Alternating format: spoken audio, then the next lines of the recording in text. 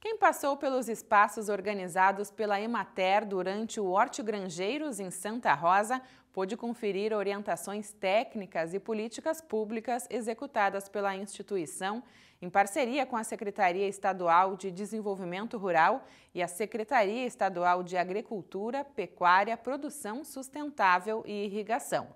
Vamos conferir algumas das propostas que podem beneficiar agricultores familiares e outros públicos do meio rural.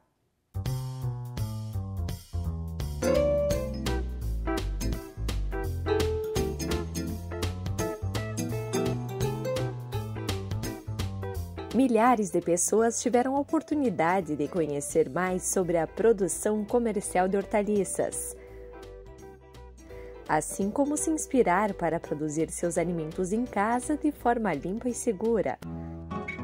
Estiveram também em pauta orientações sobre defesa sanitária animal, como a Declaração Anual de Rebanho, controle de raiva e de febre aftosa, assim como outras doenças, com participação da Inspetoria Veterinária excursões de 20 municípios visitaram o local.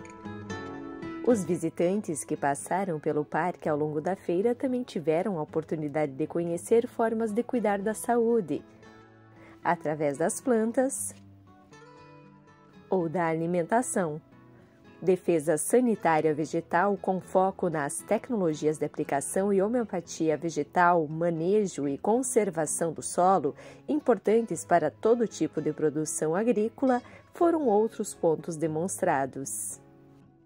A exposição de abelhas nativas sem ferrão chamou atenção para a meliponicultura Atenção para a reservação e uso de água com a construção de açudes e cisternas para assegurar acesso à água em momentos críticos. Compostagem, sementes crioulas, secagem e armazenagem de grãos, aerador para piscicultura, produção de leite, proteção de nascentes, cuidados com o embelezamento de arredores. Informações para geração de renda e promoção da qualidade de vida no meio rural não faltaram e, de forma transversal, formas de acessar o crédito rural para viabilizar a implantação de propostas na propriedade. A Emater Ascar esteve presente ainda na organização do Pavilhão da Agroindústria e Hortigranjeiros. Foram em torno de 100 expositores. No local também a mostra de grãos e brotos germinados e de artesanato em lã, com tingimento natural com plantas. Junto com parceiros, a instituição também esteve na cozinha do Horti Grangeiros, oficinas culinárias gratuitas que chamaram a atenção para o aproveitamento diversificado e saudável de ingredientes existentes na região.